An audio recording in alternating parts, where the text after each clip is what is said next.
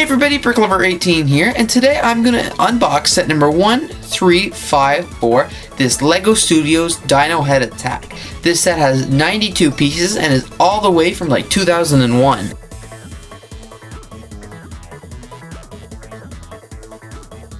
Because this set is so old, I'm going to do my best to try and keep the box in perfect condition, so this unboxing may take a while.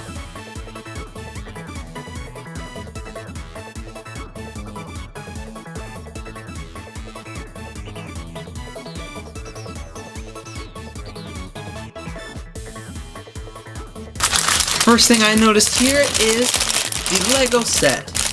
So the set itself actually looks pretty similar to how LEGO still makes their sets. Oh, this is from 2001 I mentioned. A lot of the same pieces, it looks in great condition, and as you can see the minifigure's head's actually assembled to his body. Over here in the smaller bag, again, it's very similar to how LEGO bags their sets now. I believe if this would have been like a current set, I think LEGO would have probably used three bags. But and it's weird, as you can see, they bet they put their heads on their minifigure, something that I've never seen before. Here it looks like we got this. I don't know what this is. It doesn't look like the instruction manual. Oh, it's actually a catalog of a Lego catalog. So as you can see here, it's got a lot of studio sets. And that's really cool, and I think I'll actually make a video about this separately. Join the LEGO Club free. As you can see here, we got a bigger Technic piece. We got this bigger piece as well. And then what's this? Okay, so this is a Lego Shop at Home catalog order request. That's pretty neat. And of course, this is the instruction manual. As you can see on the back here, it's got a few more variety of Lego sets, including the cameraman, this Johnny Thunder, this action studio set, as well as the stuntman catapult, I believe that is. And this is like, this is cool. This is an awesome set, I can't wait to build that. And it looks very similar to the sets that we see now, except this is studio, so there's these little like screen number things, I don't know what you call them, and various studio scenes, so that's really neat.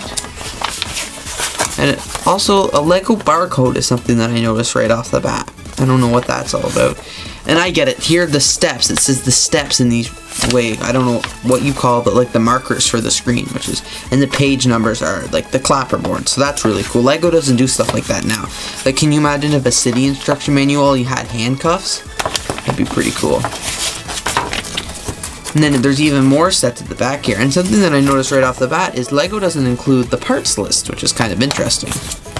So anyways, unboxing a LEGO set from 2001 is pretty similar to unboxing a LEGO set in 2016. Pretty much the same components, you know, you get your instruction manual, you get your pieces, and you get your larger pieces that are not in bags. The only difference is you don't get a LEGO catalog request form or a small mini LEGO catalog.